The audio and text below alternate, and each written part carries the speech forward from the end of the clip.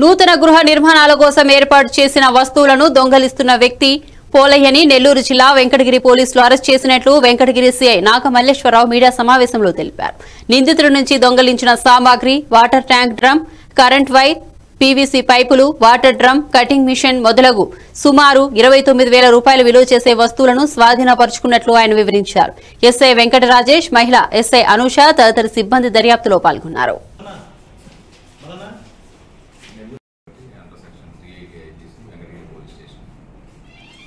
college మిట్ట ప్రాంతంలో ఉండేటటువంటి పాముల సత్యానందం అనేటటువంటి ఒక ఫిర్యాదు ఎవరైతే ఉన్నారో నూతన గృహాన్ని నిర్మిస్తున్నాడు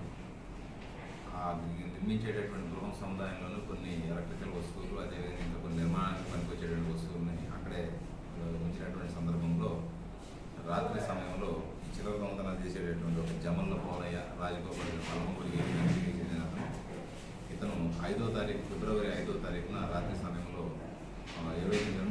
నిర్మాణం కొన్ని ఎలక్ట్రికల్ వస్తువులు వైర్లు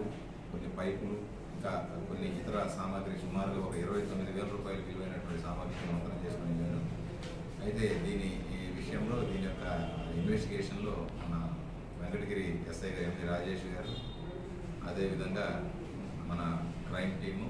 మధు పవన్ అదేవిధంగా వేణు వీళ్ళందరూ కూడా ఈరోజు తెల్లవారుజామున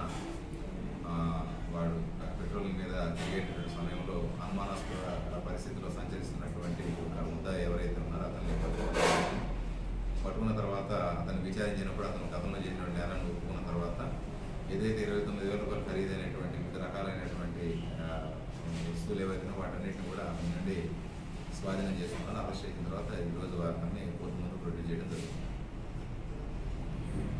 అలవాటు ఎక్కడైతే నిర్మాణంలో ఉండేటటువంటి ఇల్లు ఉన్నాయో అక్కడ దొరికినటువంటి చిల్లర దొంగతనాలు అలాగే వస్తువు దొరికితే అవసరం